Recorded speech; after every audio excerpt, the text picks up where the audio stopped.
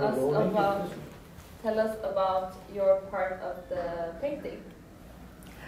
Okay, so when I was given the theme of equality, um, I just thought I would do my usual way that I approach paintings at the moment, which is to research visually through watching um, home movies, which is where I get most of my imagery from, and see if something pops up.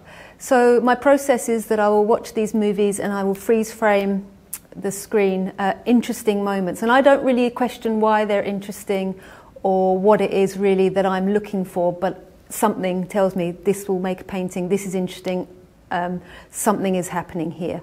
So um, I watched a few home movies. Um, these are usually ones from England in the 1950s and 60s is my favourite time period.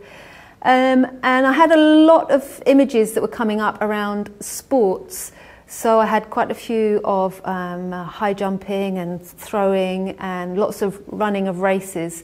And I thought maybe there was something in this running um, imagery that could be interesting because especially there was obviously there was a a feeling of competitiveness, of a, um, a struggle of some kind, of, a, of, a, of an effort, of a trying to achieve.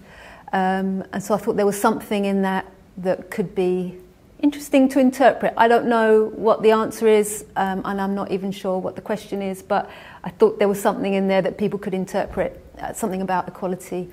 Um, and what I came up with was these, these three women that are running one is clearly winning.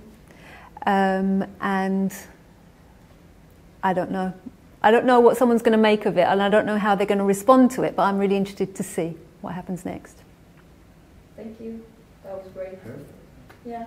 Uh, stop same question.